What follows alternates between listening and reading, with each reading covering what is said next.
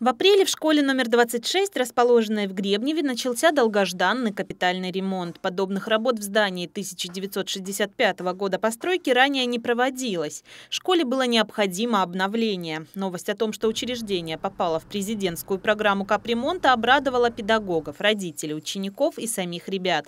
Ход работ проверил лично глава округа Андрей Булгаков. Он осмотрел территорию учреждения и само здание изнутри. В данный момент на объекте трудятся более 40 человек человек. Бригады обновляют инженерные сети, ведется прокладка электрического кабеля, канализационных труб и системы отопления.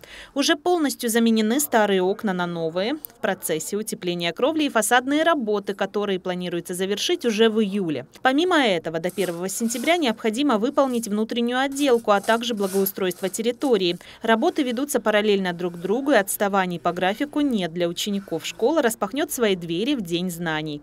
Анна Балиет, Игорь Поляков, Щелковское телевидение.